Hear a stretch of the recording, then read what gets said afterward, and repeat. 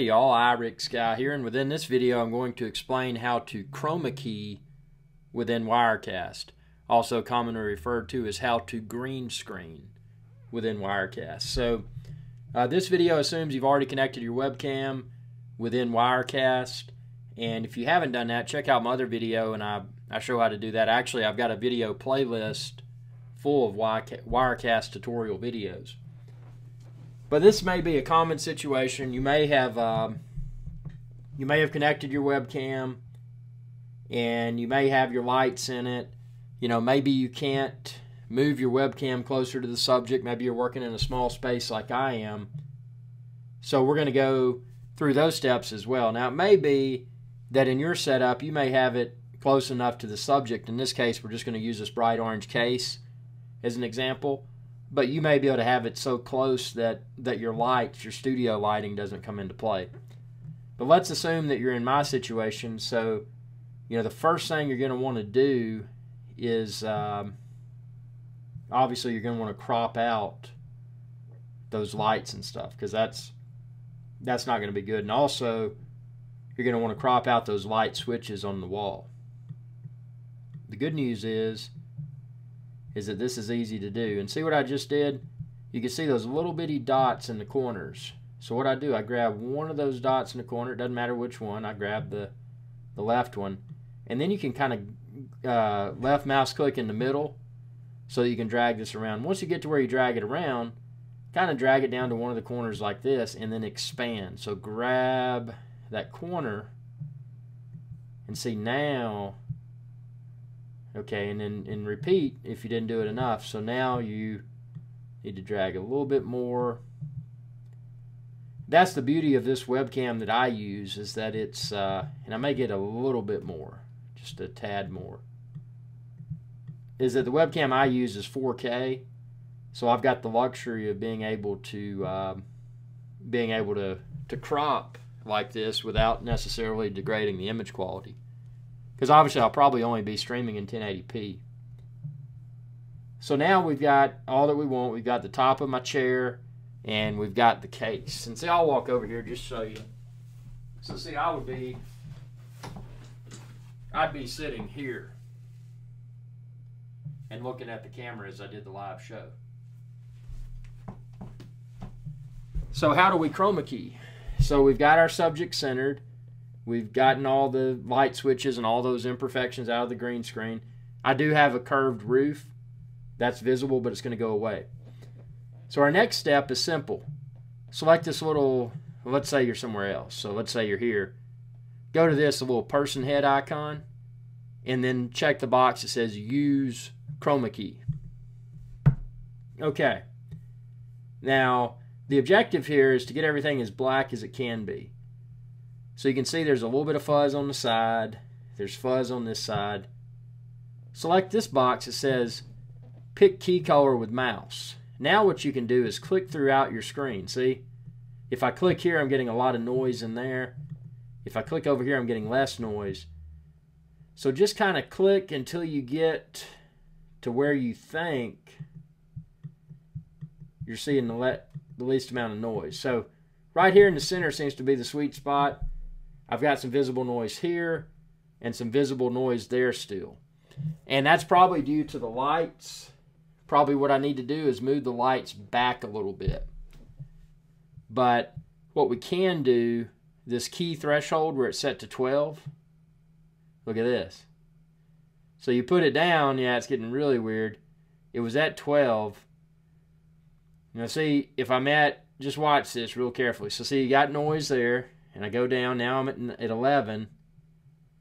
But look at what happens when I get to 18. Now I don't see any visible noise.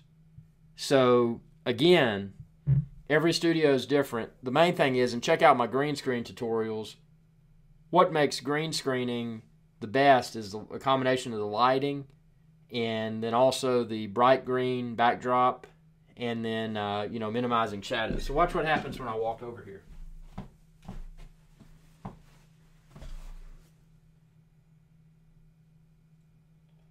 So this should be a pretty convincing green screen.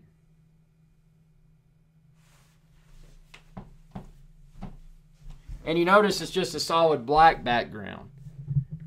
So what do you do to add something in the background like a photo or a video? Here's how you do that. So first of all, you know, follow this sequence because that solid black color makes seeing if you've got imperfections in your green screen more easy to see. So now that this looks good, that seems to be a pretty solid black. If there are imperfections, I don't notice them. So now I'm going to click this plus sign. And then I'm going to do add media file. So what I've done, and and often when I when I travel, I well not often when I travel, every time I travel, I film. I'll put my camera on a tripod and film a video for about you know five ten minute duration, and those become green screen backdrops. So what I'm going to do is just pick one of those random ones here. Uh, let's see. We will pick this one right here. So I'm going to pick this file. I'm going to do open. Okay, so now you see that. Now that's a video clip. But what I've got to do now is layer all this stuff. Because see, that's that's taken over my, well, it hasn't taken over, it's a separate clip. Actually, step back for a second. And let's do this. So your own person head icon for the for the chroma key. Now you're going to go to this icon over here. It looks like a stack.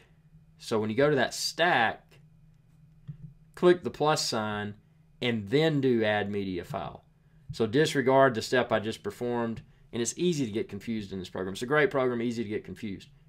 So click the plus sign and then select your clip and see now and, and we can just delete this if you if you right click or uh, or just highlight it and then do let's see edit delete shot yeah so now what we've got we've got this but you don't see the the orange case so what do you do it's actually very simple so what you can do is select this clip see uh, S, STJ, STJ backdrops on the top what you want to do is select that and then do the down arrow.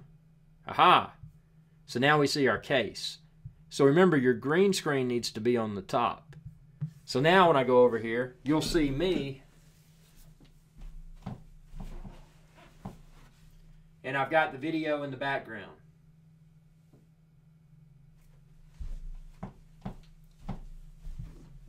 So that is the most simplistic way to do a uh, to do a video backdrop.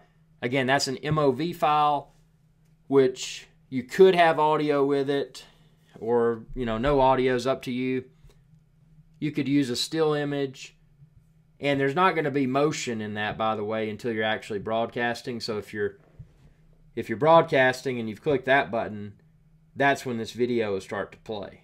So you can see that little leaf over there on the live view moving a little bit in the wind.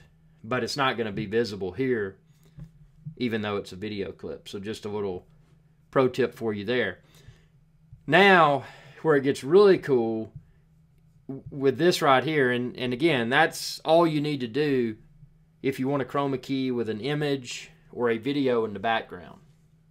But if you want to get fancy with it, you can add additional things.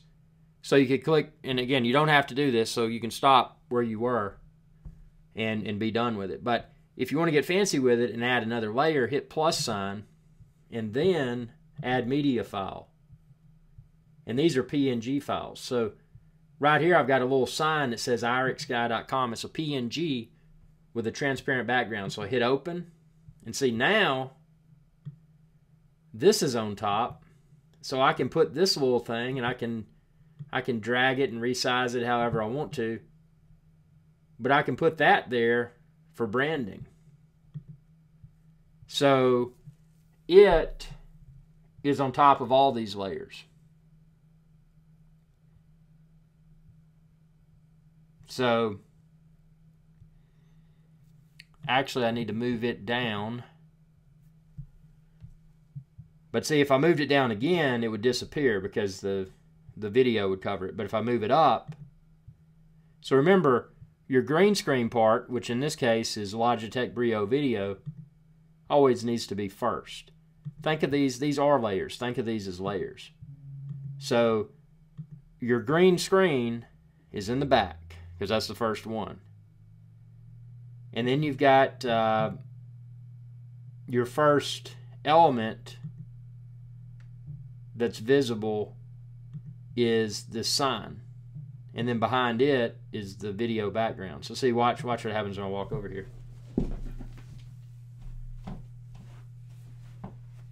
So see, the sign is behind me because it's part of the background. But if you really want to get fancy with it, you could move the sign up. So now the sign's up.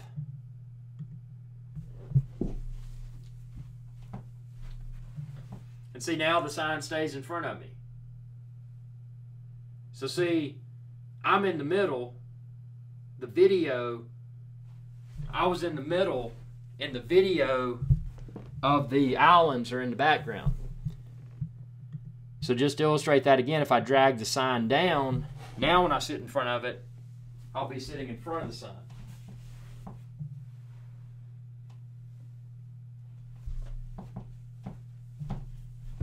So I hope this was easy to understand. This is the this is the best way that I can explain chroma keying, also referred to as green screening within Wirecast. So if you really want to jazz up your YouTube live broadcast, incorporate some chroma keying, and then you know take it to the next level as your comfort level increases. Add PNG elements such as you know such as a sign or whatever or logo and you know and really make it cool. And then pay attention to the layer where it appears. If you want it to be behind you or if you want it to be it if you want it to be perceived as being in front of you. So if you were using let's say a traditional lower third image you would probably always want that to be in front of you so you would need to take into account how your layers are laid out so that if you if you move in front of that that it's always going to stay in front of you so I hope this video was of value. If it was, uh, be sure to like, subscribe to my channel, uh, ring that bell icon when you do, and that'll notify you whenever I post another video. And if you're looking for the webcam, the microphone, any of my green screen stuff, expand this video's description, and then click the links there to find it all. And if you found this video to be of value and you want to support my channel, that would be incredible. You can find a link to my Patreon page within this video's description too. Thanks for your viewership and y'all have a good day and be sure to check out my Wirecast tutorial video playlist. I've got a wire a lot of Wirecast tutorial videos now and a lot more coming soon. If there's a particular topic that you'd like me to try to tackle within an upcoming Wirecast tutorial video, just comment below and let me know what you'd like to know. Y'all have a good day. Hey y'all, Captain Irix Guy here. I hope y'all enjoyed this video. If you did, please be sure to subscribe. It's youtube.com forward slash Irix Guy. And ring that bell icon when you do to be notified whenever I post another video. Thanks for your viewership and y'all have a good day.